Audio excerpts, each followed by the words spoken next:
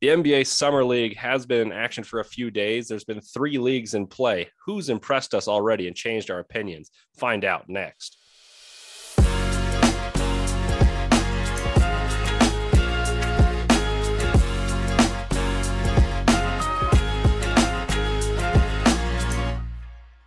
Welcome into NBA uh, Locked On NBA Big Board. I'm Leif Thulin, and I'm joined alongside by Sam Ferris. Sam's been watching in person. I unfortunately have not been. I've been watching closely from home. But I wanted to turn it over to you, Sam, as you've been able to take the closer look, especially about yesterday, where we saw some of the biggest names in the draft process battle it out against one another. Who has impressed you thus far? Yeah, I've I've been on the road trying to hit the summer leagues as much as possible. Unfortunately, couldn't make it all the way over to California for the California Classic, but uh, I've been in person at the Salt Lake Summer League and then was in person last night at the two games in Vegas. So I think we've both seen them. You can kind of give your perspective as we go through from afar. And luckily, I've been able to see them in person. Um, we can talk a little about the Utah Summer League probably today as well. But yeah, I think we can start with Vegas since that is the most recent. And two big games yesterday, starting with Jabari Smith and Paolo. The main takeaway that, you know, for me being there in person was Paolo Banchero. I thought he looked the part of the number one pick, and seeing him in person, he just popped physically. Like, you know, he's big, but seeing him in person, he is just so physically put together. And so uh, being able to see him and Jabari Smith next to each other, you do see Jabari Smith might be, you know, an inch or so bigger, but Paolo, it's easy to see why the Magic may have fell in love with him, seeing him in person, um, watching him in person, because just physically he's different from a lot of the guys out there. So put together for a guy that is six foot ten. And for me, Leif, the thing that stood out to me in his game, and th- this is no different from how we scouted him throughout the past season was his passing, which was phenomenal. I thought that my main takeaway from that game was his passing. The rest of his offensive game, like I thought Jabari Smith did a really, really nice job guarding him. And that was the most fun of, of game one was seeing them actually guard each other. Because a lot of times when we get that star matchup, they'll cross guard, they'll cross matchup onto someone else. But these guys guarded each other, and so that was a lot of fun. Jabari Smith did very well guarding him one on one, but Paolo's passing to me was probably the one aspect of the game that was most impressive. And that was no surprising because to me, that was probably the best aspect of his game as a prospect was the passing and ball handling at six foot ten.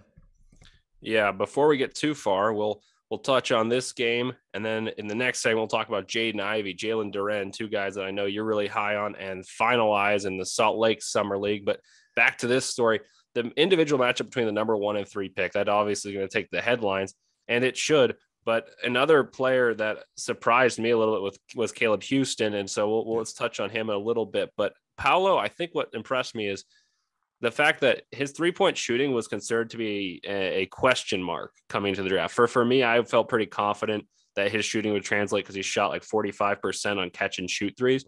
But he was mm-hmm. able to shoot step back threes, fadeaways from the mid post, and he did that with ease early in his very first NBA minutes. Um, in person, the way he created space, I haven't seen Paolo in person. I've watched a ton of Duke games and and obviously just watched the the Magic Rockets summer league game does does he create space by being physical or skilled, or is it the combination of both as it appears? Um, mm-hmm. Because I think he's got just about as good as touch as anyone from like ten feet and in, and then obviously yeah. shooting the ball, his arc and everything looks really good, which I thought was my biggest concern is that it was his shot was a tad too flat at Duke.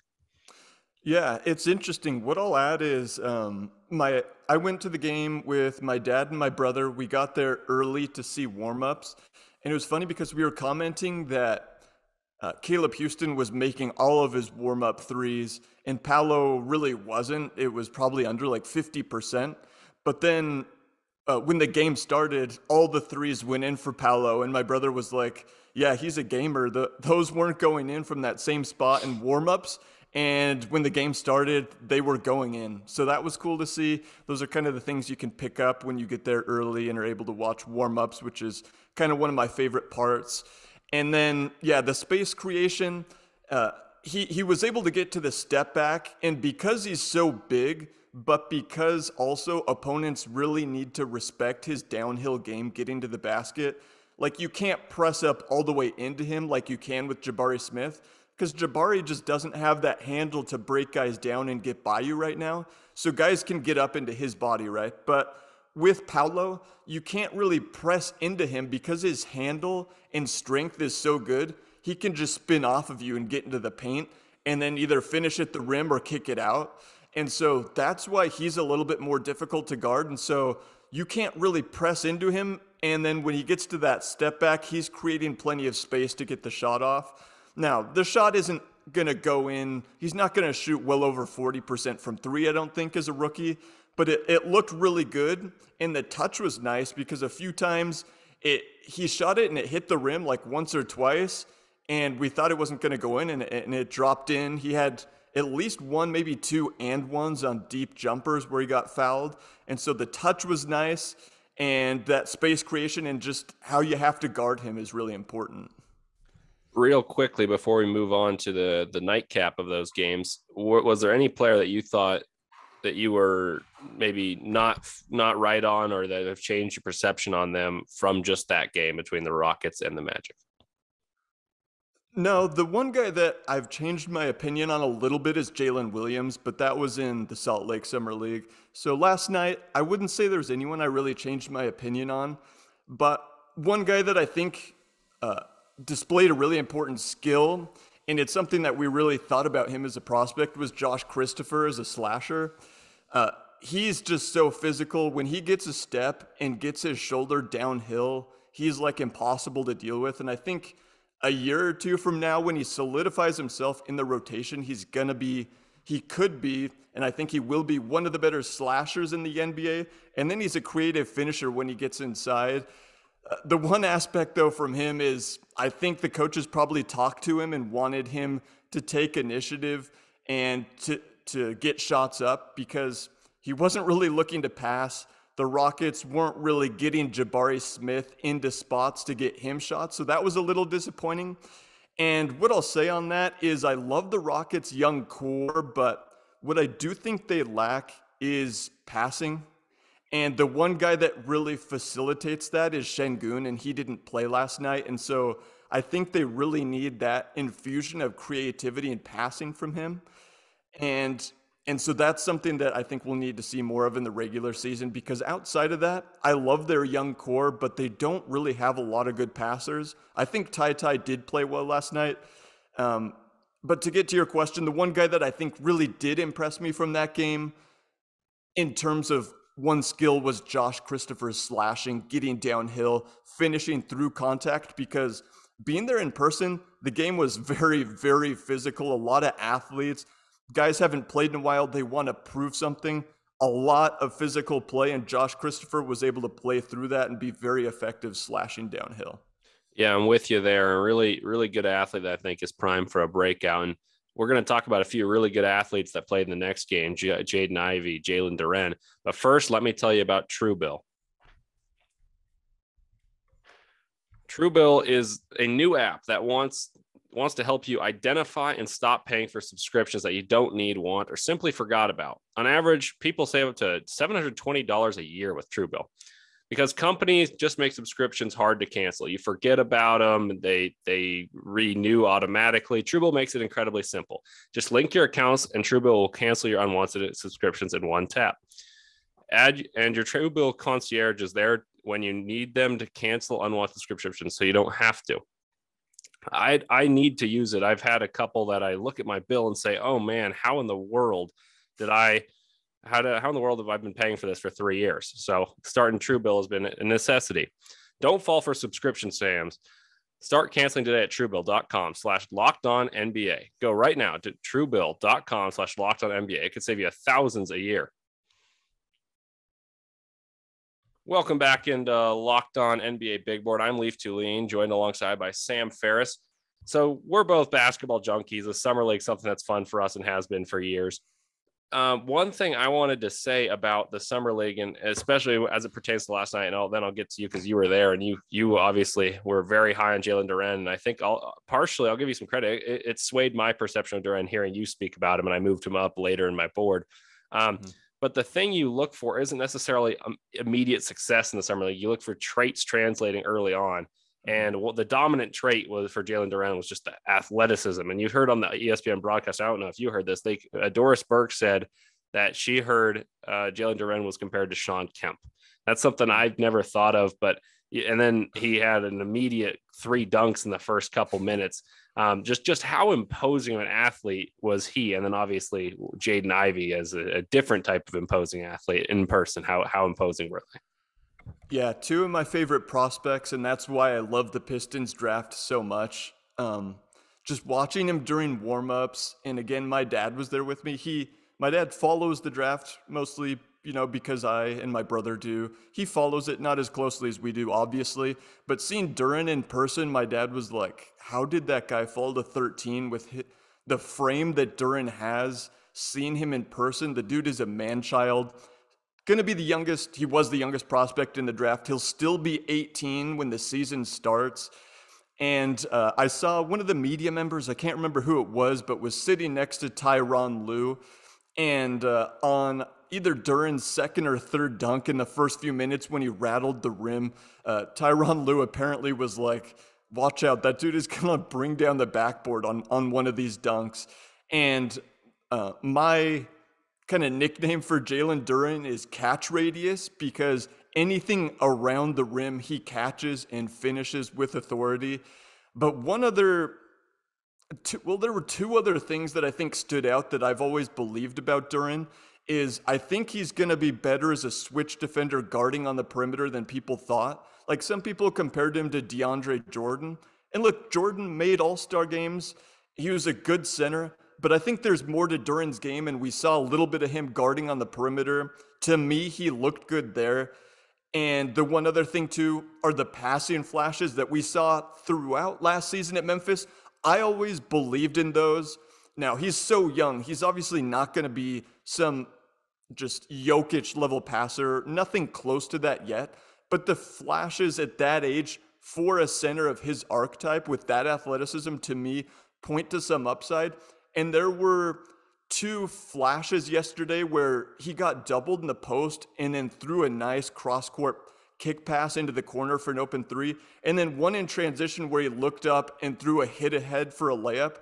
And so those things are things you just don't usually see from a really athletic young center. And that's to me, combined with obviously his ridiculous physical tools, why I saw him as the fifth best prospect. Like I just saw a high floor because of the physical tools and the young age and production, plus those flashes to me is why I think that he could be an all star as soon as two, three, four years down the road. And he ended up in a great spot where Cade, Ivey, guys like that are going to be throwing him lobs. So I was very impressed. Didn't move him up because I have nowhere else to move him. I already have him as a top five guy in this class one of my favorite prospects and really enjoyed seeing him last night in person.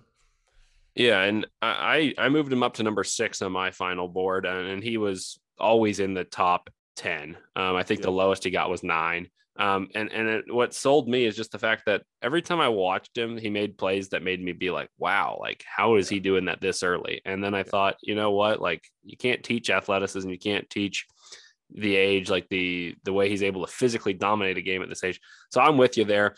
Uh, correct me if I'm wrong. You had five of your top six players playing in in those last two, the two games last night, right? Yeah, and then Chet, the other one, who yeah. so awesome, you, have seen you've seen all six. Chet was number one. Uh, we'll yep. get to Chet in the next segment, but let, let me let me ask uh, add something real quick on Duren, and then I'm going to ask something about Ivey and Sharpe. I yep. thought Jalen Duren's biggest impact is is that on that initial set where they threw the alley oop Ivey to Duren, which was yeah. beautiful. He was in the corner, and I was wondering, I was like, yeah. man, are they going to have him shoot the three? And then yeah. obviously slides baseline, he catches this ball well above the rim. Uh, I think the, what what's so valuable here is that the Pistons are basically playing their core of the future. Uh, Cade didn't play, Saddiq Bey didn't play, but Isaiah Stewart's learning how to play the four on offense and shooting threes. And I think Duren's learning how to play with the people that'll be the like the beneficiaries for him. Like he's they're going to throw lobs to him, and so he's going to learn so fast. And I and I said in a podcast we did together right before the draft, I said uh, my bold take was that Duren will be an All Star in five mm-hmm. years, and so we're, we're on the same page there. Uh, Jaden Ivey. he showed the speed. He got downhill a couple times. He had some turnovers. He played a little rushed. What was your overall assessment on him? And then also, uh, if you will, touch on Shaedon Sharpe, even though his appearance was brief. Okay. So Sharpe first is the jumper looks really nice to me in person. He was doing windmill alley oops. So you could see the physical tools in the shot before the game. You know, I had him six. That's, uh, did he go six or seven on draft night? He, he went, went seventh. Seventh. Okay. To the Blazers. Yeah. So, so I was very excited to see him. He was probably the guy I wanted to see most because we just hadn't seen him in so long. And so he started with two jumpers. And first of all, I'll add this is you can tell some of the guys, especially the rookies that haven't played before, are just nervous out there. It's their first NBA game, first time putting on an NBA jersey in front of a lot of people. Like, I cannot blame them at all. I would be so nervous. Jabari Smith to me looked pretty tight and pretty nervous. A lot of other guys. I thought Sharpe did on those first two jumpers. They kind of came out flat and hit front iron. But then you saw the promise with the like baseline kind of he kind of spun and fade away and hit like the baseline fadeaway jumper. And I turned to my brother and I was like, that looked like Paul George to me. And that's kind of like the comp, I think, if he's going to hit a high end ceiling. He's a little shorter than Paul George at like six six, but the smoothness, the beautiful jumper, and the ball skills, plus the athleticism, that's kind of the guy that he reminds me of. Now, he's got a long way to go to hit a Paul George like outcome, obviously. Um, but then I tweeted out because I saw the injury happen. I saw him leave the court. He like fell and there was like a loose ball and kind of tweaked something in his left arm. And I saw he's going to get an MRI. So let's hope he can play again. Hope it wasn't just a, a four or five minute summer league stint for him, but we'll end up seeing with that. And so, very short, pretty much what we expected from him. Not much to glean from that. Um, as for Jaden Ivey, I'll, I'll lead it off by saying, you know, I talked about how the first game was super physical. The second game was chocked full of elite athletes up and down the board, especially for um, the Blazers. Not as much skill level, but a ton of athleticism between Greg Brown, Keon Johnson, Jabari Walker, and then the Pistons, obviously Duren, Ivey, Saben Lee, a ton of freak athletes out there. Not as much skill level, and that led to a ton of fouls. There were like 65 fouls. It was painful at times to sit through the game. So guys were getting into Ivey, fouling him every time he drove. But still, especially as the game wore on in the second half, you saw him a little more in the full court. You saw the speed, the athleticism, uh, one or two of his classic dunks where he kind of grips the ball with one arm and, and flies in for his dunks. The speed stood out. The jumper is a little of a question mark. I know he made two or three, uh, but it was weird because when it didn't go in, it was way off. And so I'll be interested to see how the jumper looks as we get more of a sample with him at the NBA line. But the athleticism stood out. He ended up putting tw- uh, putting up 20 points, six assists, six rebounds, after what seemed like a slow start for him. And of course, he was being guarded by a ton of good athletes and good defenders on the other end. So, all in all, like a good start for Ivey, in my opinion.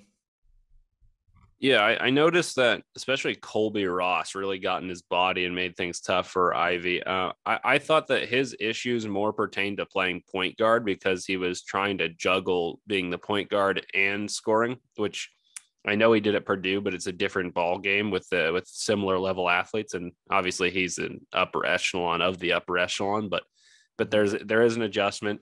Um, he had a couple befuddling turnovers that I was like, oh man, you can't be doing that. But then you see those bursts, you just can't teach it. So I'm always a believer in that. I ended up with Jaden Ivey at number three on my board, and I, I got some slack for that having Jabari slip. Um, and, and I'm, I'm curious to see how that plays out, and I'm sure we'll, we'll all be curious. And coming up next, we'll talk about uh, the impression and the impression that it was, the impressive one from Chet Holmgren. And we'll talk about Jalen Williams, some WCC products who really impressed in the Salt Lake Summer League. But first, let me tell you about Bet Online. BetOnline.net is your number one source for all your betting needs and sports information. Find all the latest sports developments, league reviews, and news, including this year's NHL playoffs and MLB base, Major League Baseball.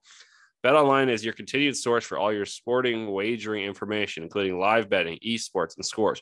And BetOnline.net remains the best spot for all of your sports scores, podcasts, and news this offseason. BetOnline.net is the fastest and easiest way to check in on all your favorite sports and events, including MMA, boxing, and golf. Head to the website today and use your mobile device to learn more about the trends in action. BetOnline, where the game starts. Welcome back once again. It's Leif Thulin with Sam Ferris, aka the intelligent one, and and he's given some intelligent takes. And and there's no matter how intelligent you are, you're gonna have people you're gonna you're gonna look back and watch and you're going to say, oh, you know, I could have done this differently. I'm sure I'm going to have a few. So far, I've, I've felt good in my evaluations, and sounds like Sam has as well. We, we both have been happy with our summer league. Um, Chet Holmgren was your number one player, right? He was, yeah. So. Chet, um, he was my number two player, and, and he he really looked incredible in the first game 23 points, seven rebounds, on incredible efficiency. Set a Salt Lake Summer League record and uh, six block. I was sad I couldn't be there. Um, Chet dominated from inside and out. And and I think that's no surprise playing at this level. Then people are going to be like, oh man, he got bullied by Kenny Lofton Jr. the next game. I, I don't see it that way. He made Kenny Lofton foul basically into a point where he wouldn't have been relevant. He was awesome. And then Jalen Williams was really, really impressive, but he just didn't catch the, the headlines because Josh Giddey and Chet were just unbelievable. Uh, being at that first game for Chet Holmgren, what impressed you uh, aside from just the overall production? So everything impressed me because you know I saw a couple people debating how impressive his summer league debut was. I've been going to both the Salt Lake. I've gone to a lot of Salt Lake summer leagues, and I've gone to Vegas for like the past, I think since 2016, and eh, every year, and that was up there with some of the best summer league debuts ever, if not the best one that I've ever seen, probably just because the shot making combined with his overall impact that Chet always has, which is the the rim protection, blocking shots, but not just blocking shots, also deterring a ton of shots, combined with the shot making was just a ridiculous total impact on the game where he dominated it. And even in the second game where he didn't shoot well, he looked tired at times he was kind of like doubled over, uh, like gasping for wind at times. Uh, still, through the two games, I noted that he was plus 46, and then OKC was negative uh, with him out of the game over the three games. And that just goes to show what I always talked about and why I had Chet number one is if if you don't believe anyone in this class is going to be a great number one player on a deep playoff team, then I believe Chet is going to be an ideal number two player because his total impact is felt in every way, whether it's off the ball offensively, his rim protection and deterrence defensively. And that's why I think he has a high floor as a prospect.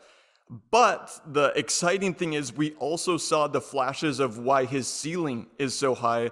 Uh, whether it was dribbling into pull up threes or dribbling into a Dirk fadeaway jumper, like those things were really, really exciting, and those won't go in every night, but his night to night impact will always be felt.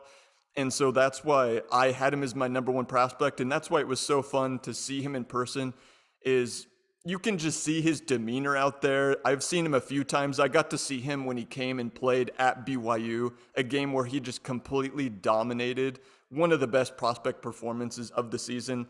And that's what we saw from him in the Utah Summer League. And so, whether or not he'll end up shooting like 50% from three, obviously those shots aren't going to continue to go in at that rate, but the night to night impact will always be felt with him. And that's why I think OKC might be a little bit better than people think this year because they had like a top 15 defense for most of the year last year. add Chet into that mix, I wouldn't be surprised if they have a top 12 defense this year. And that's pretty exciting for a team that young. Uh, but what was it that stood out to you watching Chet from, from afar, having him number two on your board?